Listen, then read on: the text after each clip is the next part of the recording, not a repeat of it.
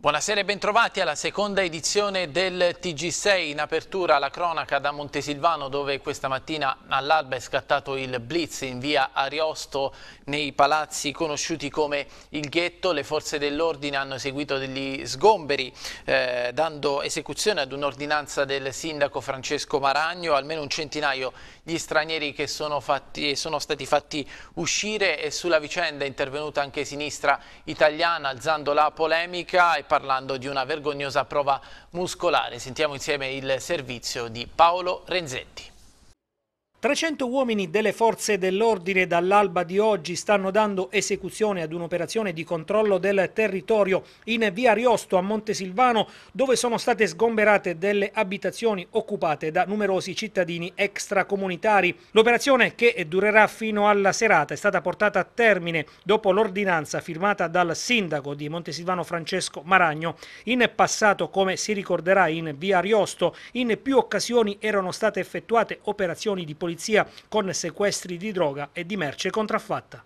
La situazione è sotto controllo, le forze di polizia hanno operato con grande professionalità, eh, stanno dando attuazione ad un'ordinanza da me firmata diversi mesi fa che prevedeva lo sgombero dell'area per varie ragioni di ordine, sicurezza igiene, igiene, oltre che ormai era diventato un problema anche di eh, traffico di, di, stupefacenti, di commercio di stupefacenti perché purtroppo era diventato il punto di riferimento di tanti tossicodipendenti dell'area. Dell Oggi viene ripristinata la legalità in un contesto urbano per noi particolarmente importante perché è una delle zone di maggior pregio della città. È giusto e integrare, però l'integrazione passa attraverso il rispetto delle regole e fino a quando non ci sarà il rispetto delle regole, sotto questo punto di vista non saremo tolleranti. Si tratta dell'ennesimo blitz eh, qui in via Riosto, eh, potrebbe essere questa l'occasione per eh, far sì che questa eh, situazione possa migliorare definitivamente qui nella zona? Beh, io mi auguro, anzi sono convinto che questo sia il blitz definitivo.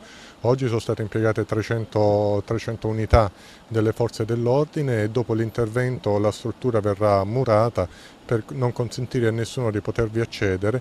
Restituiremo la struttura ai legittimi proprietari affinché la utilizzino in maniera più oculata, ovviamente dopo averla ristrutturata. Ancora cronaca scoperti 24 lavoratori in nero in seguito agli accertamenti condotti dall'Ispettorato Territoriale del Lavoro di Chieti e Pescara che hanno riguardato 17 attività commerciali operanti tutte nel Chietino nella zona tra Vasto, San Salvo e Chieti. Al termine dei controlli sono stati deferiti all'autorità eh, giudiziaria sei datori di lavoro mentre per nove aziende è scattato il provvedimento di sospensione dell'attività imprenditoriale in quanto occupavano in nero più del 20 20% della forza lavoro. E torniamo ad occuparci dell'omicidio eh, del piccolo Jason, passata in giudicato la condanna a 18 anni di carcere, ricorre nuovamente la Corte Europea dei diritti dell'uomo di Strasburgo, Katea Reginella, ora detenuta a Teramo e assistita dall'avvocato Vincenzo Di Nanna, accusata di omicidio volontario aggravato del figlioletto Jason di appena due mesi, scomparso nel giugno 2011 a Folignano in provincia di Ascoli Piceno, in concorso con il marito Danny Pruscino, condannato invece all'ergastolo. Il legale equipara a tortura le tecniche di interrogatorio. Nel corso del processo, ha spiegato, sono state commesse eh, gravi violazioni del diritto alla difesa al punto che la magistratura ha ignorato la certificata condizione patologica dell'accusata affetta da un significativo ritardo mentale, così da negare il diritto ad un equo processo e sottoporre la Reginella a un interrogatorio eh, tortura. Adesso andiamo a Penne, dopo Vasto anche il eh, capoluogo Vestino sta per perdere il distaccamento della polizia stradale, la notizia ovviamente sta agitando ehm, le eh, proteste nell'area vestina. Sentiamo il servizio dei colleghi di Vestina News. Assessore Baldacchini, di oggi la notizia dello smantellamento della caserma della Polizia Stradale a Penne. Sicuramente è una notizia ufficiosa perché noi non abbiamo ricevuto ancora la notizia ufficiale sullo smantellamento anche se girava la notizia nell'aria ma sicuramente non è, una cosa, non è una cosa bella e positiva per noi, considerando l'utilizzo diciamo, di questa forza importante per quanto riguarda la sicurezza. E, però ecco, se dobbiamo dire una forza di compensazione, eh, considerando che quella struttura verrà poi eh, riutilizzata per eh, già i lavori sono avviati, credo che sono insomma, anche alla conclusione, sarà riutilizzato dalla, dai vigili del fuoco, quindi come caserma, come punto di riferimento della zona dell'area Vestina, che sicuramente era meglio se ci fossero state tutte e due, però eh, eh, credo che ho sentito dal, dal viceprefetto che dovrebbe esserci un tavolo organizzato dalla prefettura in questi giorni e poi vedremo. Ed ora all'Aquila per parlare di ricostruzione, eh, una ricostruzione che prosegue su un doppio binario, eh, male quella pubblica eh, mentre eh, va bene quella eh, privata. Per l'ANCE serve un tavolo istituzionale apposito che si occupi dei 600 milioni di euro pronti e non ancora spesi. Sentiamo il servizio della redazione aquilana. Mentre la ricostruzione privata all'Aquila ha preso il volo, restano problemi per la ricostruzione pubblica. Ci sono oltre 600 milioni di euro stanziati per la ricostruzione pubblica e non ancora utilizzati, non ancora spesi. Una ricostruzione pubblica che sembrerebbe dunque ferma al palo e che va a un'altra velocità rispetto a quella privata, come conferma anche il presidente dell'Ance Ettore Barattelli. Sono oltre 600 milioni di euro stanziati e non ancora spesi tra le varie stazioni appaltanti, eh, l'ANCE sta predisponendo ormai da tempo numerosi dossier che sta sottoponendo anche all'attenzione della stampa per fare un'informazione positiva e collaborativa con tutte le stazioni appaltanti. È necessario un grande sforzo di, di efficienza, eh, abbiamo chiesto tra l'altro ai candidati sindaci che ci hanno risposto in senso positivo che è opportuno opportuno eh, convocare, formare proprio un tavolo ad hoc per la ricostruzione pubblica perché non si può pensare a un centro storico con le case finite senza gli uffici pubblici. All'Aquila comunque si tratta di un modello vincente, una ricostruzione sicura, l'Aquila città sicura dopo il terremoto del 2009. 99 gru si vedono nei cieli aquilani, 99 che è un numero evocativo per la città dell'Aquila, un discreto movimento che si vede per quanto riguarda la ricostruzione soprattutto nell'asse centrale, con palazzi davvero bellissimi che a breve verranno restituiti. Insomma, non si sa quando, ma l'Aquila sicuramente tornerà più bella di prima, ma soprattutto in sicurezza. Abbiamo contato 99 gru, eh, un numero evocativo, simbolo della nostra città, eh, siamo a circa il 50% della realizzazione del centro storico, crediamo si possa fare di più, l'intenzione c'è, l'importante è che tutti gli attori del processo facciano la loro parte e non si inceppi il meccanismo. Ed ora torniamo nell'area Vestina per parlare di sanità e dell'ospedale di Penne. Il direttore sanitario del San Massimo traccia il futuro del eh, nosocomio al centro di polemiche per le prossime riduzioni di posti letto già in estate. Di Luzio ribadisce però la centralità del presidio eh, sanitario nell'area eh, Vestina.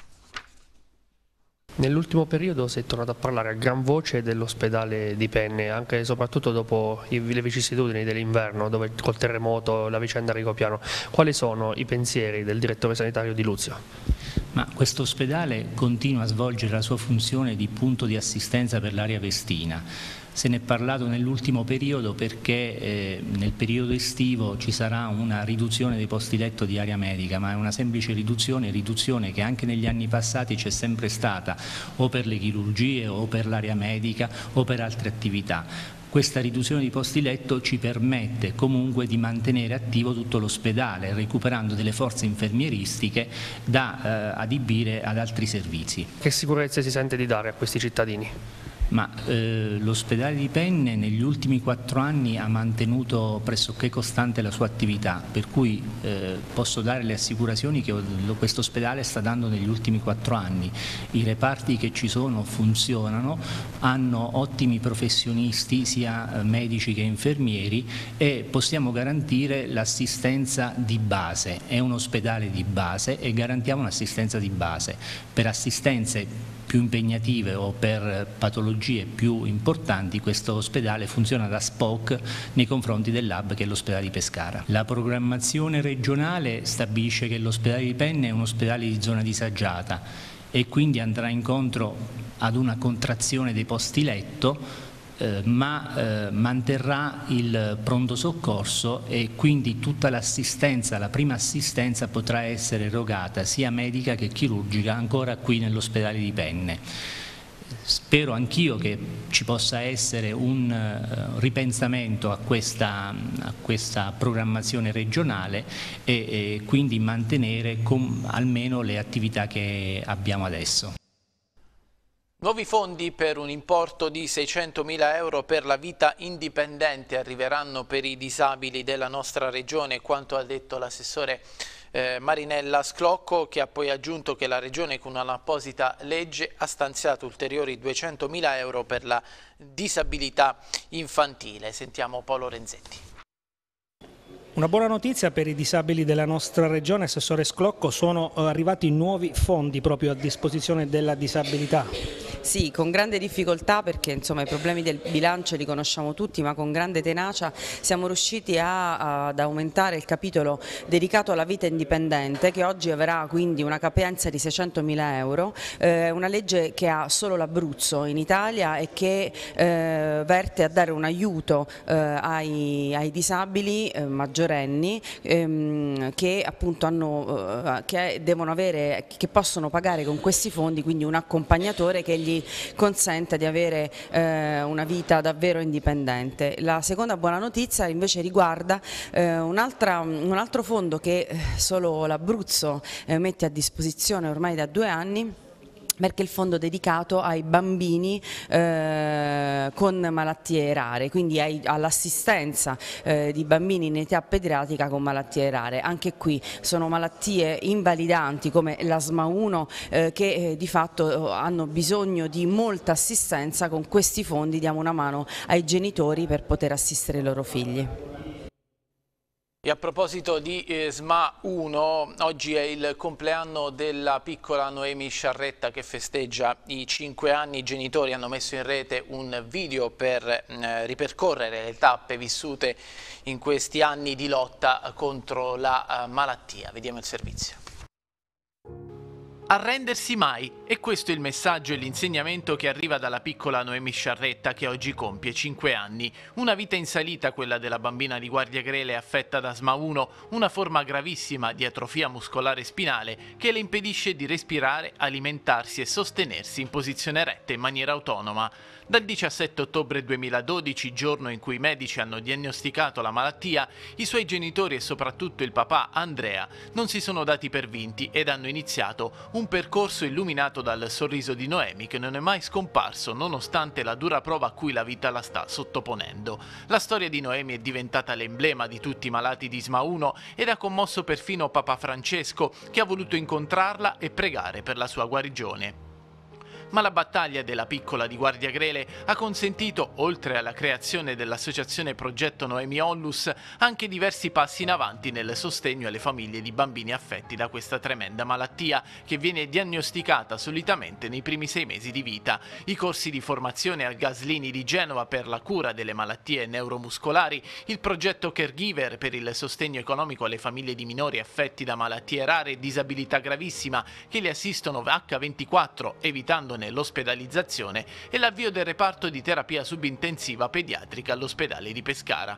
Ma come abbiamo detto all'inizio il motto di Noemi e dei suoi genitori è non arrendersi mai e allora tanti auguri piccola Noemi che la tua vita possa continuare a regalare a tutti ancora molti piccoli ma importantissimi regali.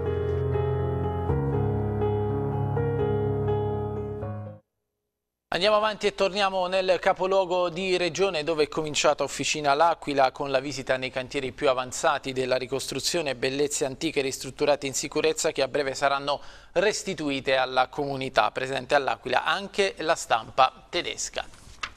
Un viaggio attraverso le bellezze e unicità aquilane che a breve verranno restituite alla città. Officina L'Aquila, come sempre, porta la gente nei principali cantieri della ricostruzione, nello specifico in casa Jacopo Notarnanni, in Palazzo Carli Porcinari, in Palazzo Camponeschi, nel Teatro Comunale e nel Palazzo ex Carispac. Una finestra delle tecniche di restauro e nelle principali tecniche di consolidamento, per mostrare ai visitatori la bellezza di palazzi antichi e storici che a breve verranno riconsegnati ai proprietari in tutta sicurezza ma senza aver violato i paletti della sovrintendenza. Vecchio e nuovo che si fondono in uno spettacolo unico e immagini esclusive. Tre gioielli che presto torneranno fruibili è anche il Teatro Comunale. Per quanto riguarda i posti del teatro si manterrà quello che era in origine? Sì, superiore a 500, anche se noi modificheremo, diciamo, stiamo studiando per cercare di capire come era l'impianto originale della frizione delle persone. Sui tempi invece di restituzione, la città del teatro? I tempi sono fino adesso li abbiamo oh, mantenuti perché non abbiamo trovato grosse problematiche di intralcio e sono previsti per la fine del 2018. Nei cantieri anche la stampa estera che ha potuto apprezzare e ammirare i lavori e i bellissimi restauri.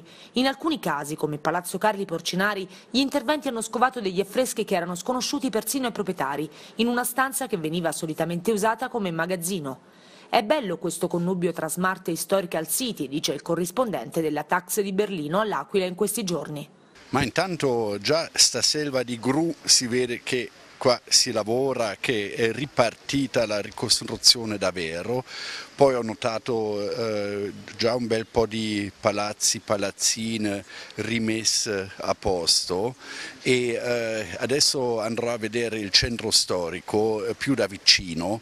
Um, sono molto curioso di vedere questa città eh, eh, questa ricostruzione in corso con l'approccio di una smart historical city, di una eh, città che si rimane o ritorna anzi per essere più precisi quella che era un centro storico bellissimo che mi ricordo prima del eh, sisma infatti però sfrutta eh, sembra quasi brutto dirlo, sfrutta questa occasione della ricostruzione per renderla modernissima, renderla una città all'avanguardia. L'ASL di Teramo e il Comune hanno deciso per l'abbattimento dell'ospedaletto di Porta eh, Romana. Residenti e associazioni culturali plaudono al progetto e chiedono che venga realizzato un giardino al posto del vecchio edificio. La sovrintendenza però si oppone e Teramo Nostra insorge. Il punto ce lo fa nel servizio Tania Bonnici Castelli. Porta Romana è l'ingresso più antico alla città di Interamnia. Un corso che vede la presenza di chiese medievali, antiche botteghe artigiane e trattorie tipiche e che è stato interamente ripavimentato meno di dieci anni fa. Oggi è un angolo di Teramo che vive nel degrado, diroccato. La strada si è rotta in più punti poco dopo la fine dei lavori. Gli scavi delle gallerie dell'80 e il terremoto hanno fatto il resto.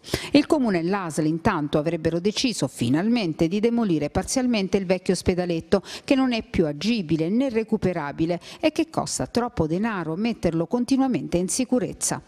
Comune ASL hanno deciso per il parziale abbattimento del vecchio ospedaletto, voi siete d'accordo? No, noi siamo d'accordo, intanto non è un monumento storico, diciamo, questo sarà del 1900, ma dopo è una bruttura in questa zona dove escono tutta la nuova viabilità, il primo impatto è demoralizzante perché abbiamo tutti caseggiati transennati, eh, muretti caduti, insomma non si dà una bella immagine di uno che viene nella nostra città la prima immagine è sicuramente negativa. Voi che cosa proponete?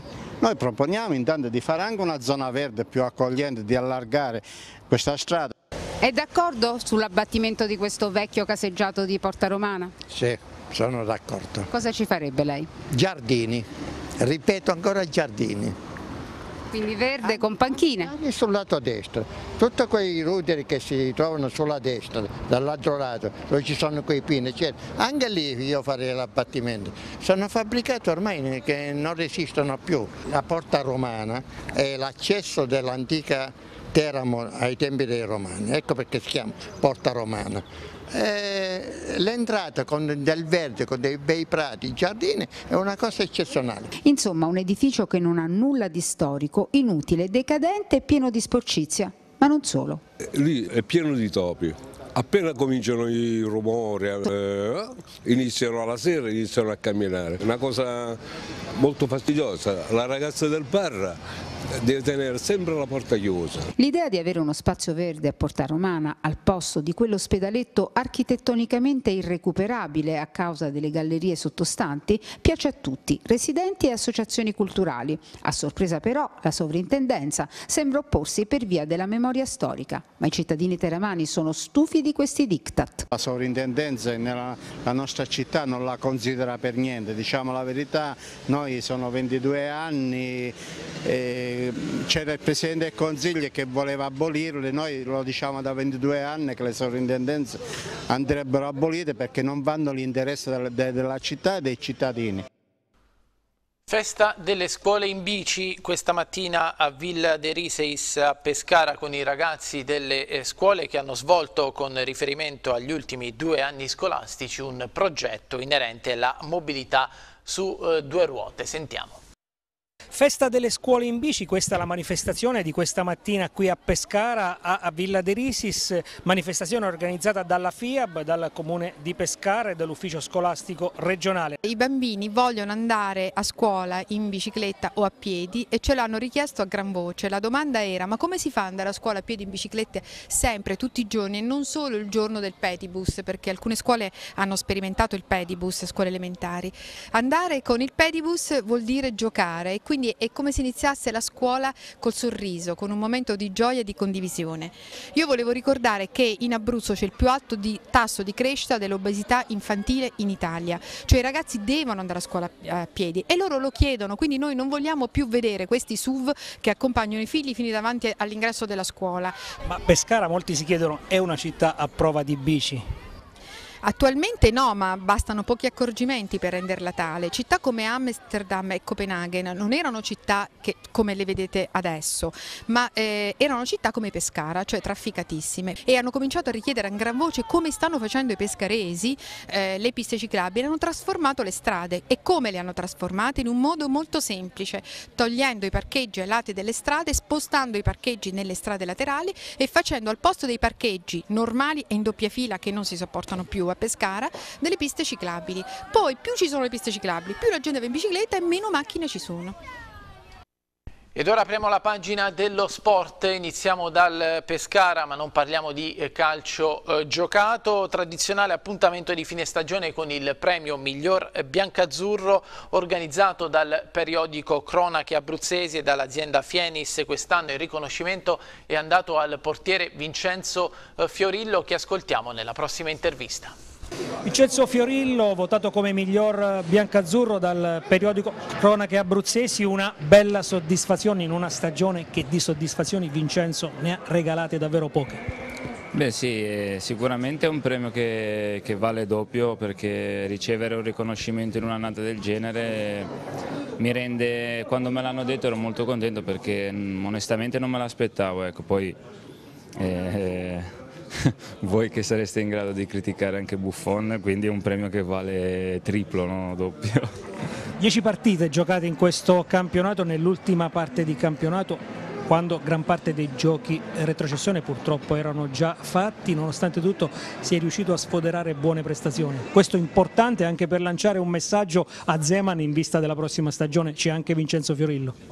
Beh sì, dopo la matematica retrocessione onestamente il mio unico obiettivo era quello di convincere il mister perché la mia volontà appunto è quella di, di rimanere qua e di rimanere come portiere titolare, quindi ho provato in questi due mesi a fare far vedere qualcosa a lui per, eh, per, poter far parte appunto del nuovo progetto. Nuovo progetto, ma ci sono, lo saprai, avrai sentito anche dei rumors, si parla di Pigliacelli che tornerà a pescare per fine prestito, si fa anche il nome di Brignoli, portiere del Perugia, insomma ci sarà da lottare il prossimo anno per restare a Pescara e per essere il portiere titolare del Pescara in Serie B. Ma guarda, ne parlavo prima, io da quando sono qua ho avuto la fortuna di fare due finali playoff, ecco, una, una, persa come sappiamo, una l'ho vinta, un altro campionato l'ho vinto a Livorno, quindi diciamo che in Serie B ho, i fatti dicono che io ho sempre giocato per vincere, poi i nomi dei portieri che circolano è normale che ci sia perché il Pescara in, in Serie B è sempre stata una società e una squadra tra, tra le prime, quindi probabilmente sono anche tanti quelli che vogliono proporsi al Pescara più quelli che il Pescara magari vorrebbe realmente. Andiamo avanti con la Lega Pro e con il Teramo, chiusa la stagione con la salvezza, il Teramo è alla ricerca di un nuovo direttore sportivo, questa mattina incontro con Sandro Federico con cui c'è già un'intesa di massima, ma eh, non è l'unico nome sulla lista del patron Campitelli. Sentiamo Jacopo Forcella.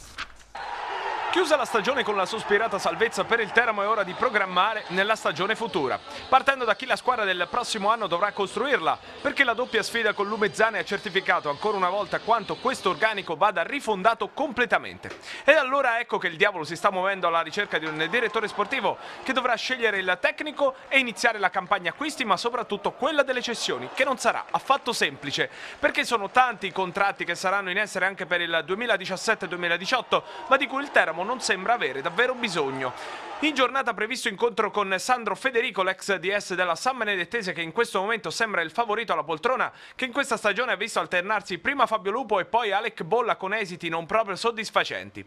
È naturale che dovesse essere scelto proprio Federico, l'accostamento con Ottavio Palladini sarebbe semplice, ma non scontato, visto che l'ex giocatore del Pescara non è solo pressato dalla vastese di Bolami, ma è anche insidiato da una concorrenza che non è folta, ma è agguerrita. Sulla lista c'è anche Massimo Epifani che quest'anno ha guidato il San Nicolò e che dopo tre anni sembra aver concluso la sua esperienza in biancazzurro. Poi ci sarebbe il nome, uscito nei giorni scorsi, di Antonino Asta, quest'anno a Salò con la Feralpi, prima del divorzio dai Leoni del Garda. È chiaro che Federico, nel ruolo di direttore sportivo, non può essere l'unica opzione a disposizione di Campitelli. In seconda posizione infatti c'è anche Antonio Bocchetti, ex giocatore con un recente passato anche a Pescara e che ha avuto un'esperienza da dirigente a Pagani come responsabile dell'area tecnica. In questo valzer di nomi occhio agli incroci perché le coppie potrebbero spaiarsi e dare vita a convergenze che oggi non sembrano probabili, ma che solo le vie infinite del mercato possono rendere possibili. Lasciamo il calcio per occuparci di podismo, sono stati Alberico Di Cecco eh, tra gli uomini e Maria Grazia Bianchi tra le donne a vincere la quarta edizione della Maratonina del Mare che si è svolta a Pescara domenica scorsa, grande successo per la manifestazione che ha visto ai nastri di partenza 2500 podisti provenienti da tutta Italia. Sentiamo Paolo Sinibaldi. Invasione di podisti e gran caldo alla quarta edizione della Maratonina del Mare, evento organizzato dai Runners Pescara. Oltre alla gara competitiva di 21 km, anche una non competitiva di 10 km e le prove giovanili. Base di partenza e di arrivo, lo stadio Adriatico Cornacchia, ma le corse in programma hanno interessato mezza città con percorso prettamente pianeggiante, ad eccezione del Ponte del Mare. Sono partiti in oltre 2500 gli atleti giunti a Pescara da tante regioni italiane, a testimoniare che questa manifestazione podistica sta diventando tra le più importanti di tutto il settore adriatico.